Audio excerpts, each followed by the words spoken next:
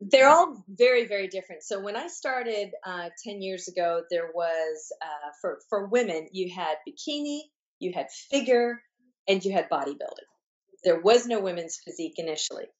And i remember I, i've actually been through the whole gamut because that first that that's another thing too. If you decide if you want to compete sometimes it's finding where you fit because something that you may really like because you say well, that's my personality whether i'm i want to be the sassy bikini girl or i want to be the, the more composed figure or you know the the strong bodybuilder. That's okay if that's what you want to do but your body may or may not um, translate to that. So I really suggest trying a couple of different divisions, seeing not only what you like, but where you fit in, and talking to the judges about it too.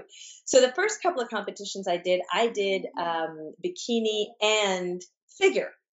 Well, after the was it the second bikini, I was like, okay, that's it. That it just it just wasn't me.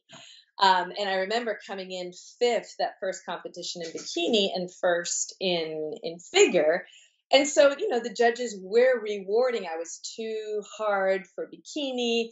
I needed to grow eventually a little bit in, into figure.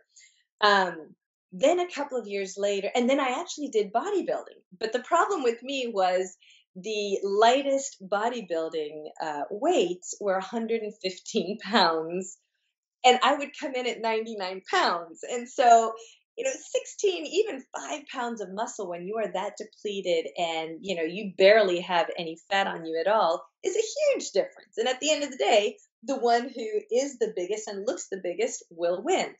So when physique came out i'm like oh wow this is awesome. This is great.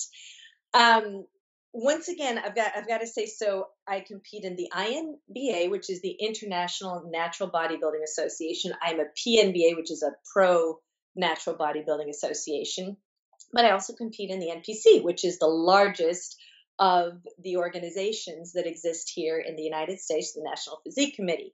Now, the natural one, the only difference there is that it is tested. So you know that there's a very even playing field. I still I love competing and I love having sometimes that that large draw of people and, and the big numbers to be able to to compete with. So I did compete in both routes. Where do I do the best? What is dear to my heart?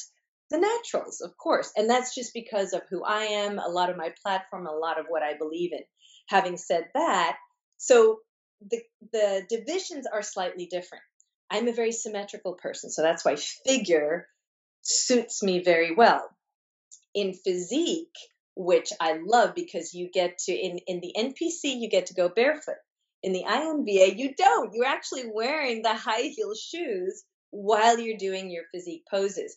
So it's a more feminine uh, type posing than it would be bodybuilding because it's all open handed it's you know j- just how the poses are done which which i love and are great. That's where i have been told later on in the natural um, bodybuilding associations the physique is where i do the best because i cut very lean and you you can really see the definition of those muscles with the NPC, it's slightly different because you get a lot of the women are a lot thicker, um, and and it's really really at, at those national levels, it's very very hard to compete.